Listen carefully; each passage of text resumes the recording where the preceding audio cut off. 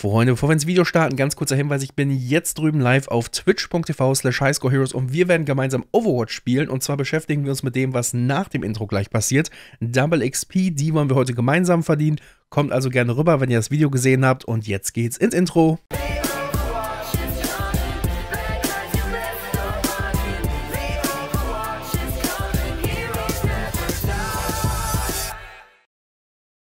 Moin Moin Freunde, hier ist Sascha und ich begrüße euch heute zu einem neuen Overwatch-Video und äh, vor wenigen Minuten hat Blizzard angekündigt, es findet mal wieder eine Double XP-Woche statt und die beginnt genau jetzt.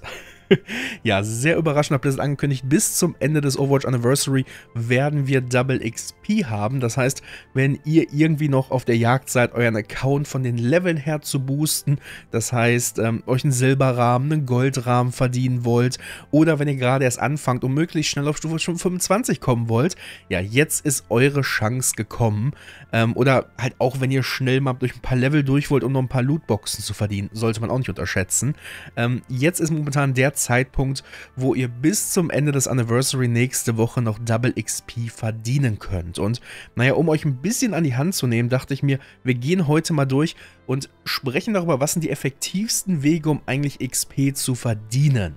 Vorweg sei dabei gesagt, bitte macht nicht den Fehler und geht in den Custom Game Browser, wo es vermutlich wieder Dutzende äh, AFK Double XP Lobbys oder sowas geben wird. Earn Fast XP. Ganz ehrlich, diese Lobbys werden grundsätzlich von Blizzard zugemacht. Blizzard bestraft die Leute, die solche Lobbys aufmachen. Also macht gar nicht erst den Fehler. Ganz ehrlich, es ist ein doppeltes XP-Wochenende oder doppelte XP-Woche. Ihr werdet in den nächsten Tagen also so viel XP verdienen können. Und ja, ich will euch heute ein bisschen an die Hand nehmen und sagen, wie das am einfachsten geht.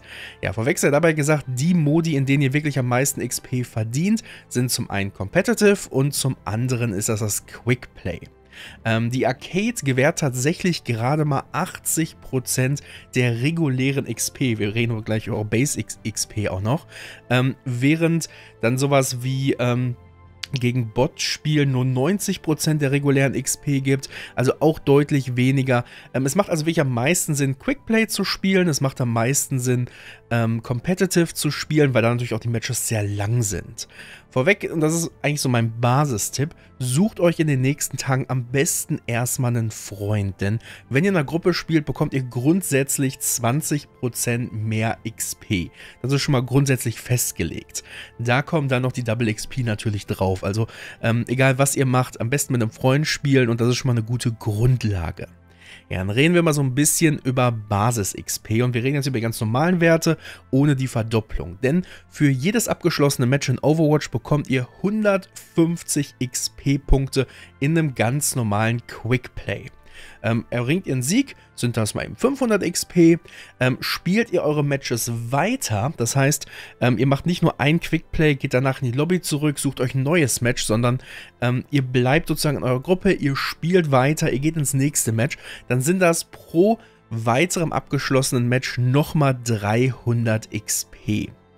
Ja, hinzu kommt natürlich, euer erster Sieg des Tages gibt euch dann mal eben so knapp 1500 XP, ist also auch ganz nett. Das heißt, mit den Double XP seid ihr alleine mit diesem ersten Sieg des Tages schon bei knapp 3000 XP.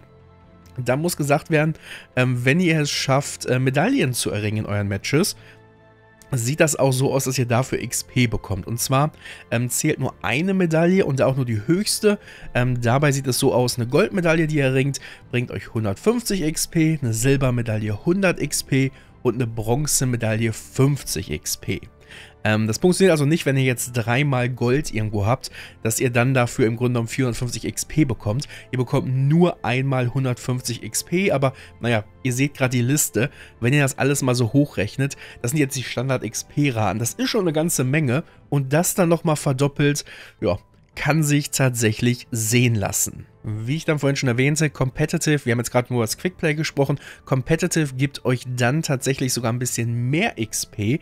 Hier sieht es nämlich so aus, dass ihr pro Match nicht nur 100 XP kriegt, sondern ihr kriegt 100 15 XP. Heißt also, wenn ihr in einem Match regulär diesen Matchabschlussbonus von 150 ähm, XP bekommen würdet, wären das 173. Wie gesagt, auch hier muss die Double XP natürlich draufgerechnet werden. Also, was sich wirklich am meisten lohnt, ist einfach Competitive und Quick Play. Ähm, und das würde ich euch dann auch empfehlen, in den nächsten Tagen zu spielen. Versucht möglichst gut zu spielen, das muss man auch ganz klar sagen, denn wie gesagt, Medaillen helfen euch in dem Sinne. Erster Sieg des Tages hilft euch. Ähm, es bringt auch was, wenn ihr tatsächlich Glück habt und ja so als, als Füller in ein Match reinkommt, dann kriegt ihr auch noch ein bisschen Bonus-XP. Ähm, wie gesagt, was ihr so ein bisschen aus dem Weg gehen solltet, ähm, ist der Spielbrowser, weil der sehr wenig XP gibt. Workshop-Games geben gar keine XP. Das ist super sad, um ehrlich zu sein. Ähm, aber wenn ihr möglichst effektiv sein wollt, dann Competitive oder Quick Play. Ja, viel mehr gibt es an der Stelle gar nicht zu sagen. Geht los, sammelt XP und ja, falls ihr Bock habt, kommt gerne im Stream vorbei und wir spielen ein bisschen gemeinsam.